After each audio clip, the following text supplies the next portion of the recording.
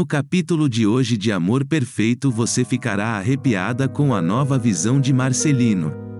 O Filho de Deus vai surgir diante do menino, pregado na cruz em uma imagem pendurada na parede do sótão da Irmandade. O Senhor existe mesmo, e é como no meu sonho. Mas ninguém acredita em mim, nem meus amigos. O Senhor tem cara de fome, dirá o menino. Marcelino sairá correndo e pegará um pedaço de pão na cozinha.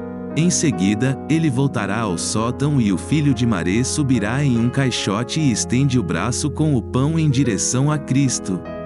Então, o milagre acontece, o prego se solta de uma das mãos da imagem, e a mão de Cristo desce da cruz e pega o pedaço de pão que Marcelino oferece a ele. O menino reage encantado com a imagem. O filho de Marei e Orlando vai falar que se lembra de Jesus falando com ele no hospital. O rapazinho sairá do sótão dizendo que a santidade estava mesmo com fome. Só depois que o menino se deita na cama, que ele vai recordando da conversa com Cristo. O Senhor sabe onde está a minha mãe? perguntará Marcelino. Sim, meu filho, e ela está bem pertinho de você, muito mais que você imagina, afirmará Jesus.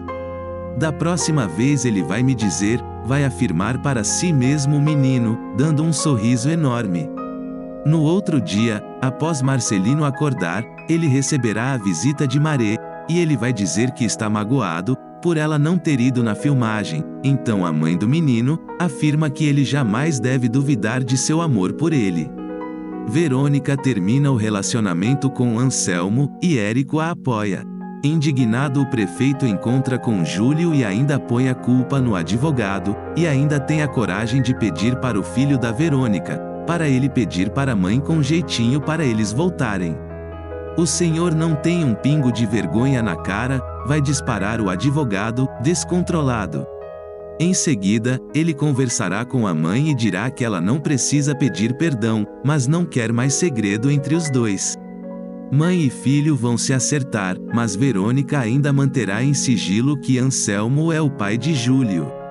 Lucília sugere que Gilda conquiste Marcelino para chegar até Orlando, então no dia da inauguração da fonte da cidade, as duas são muito simpáticas com Marcelino.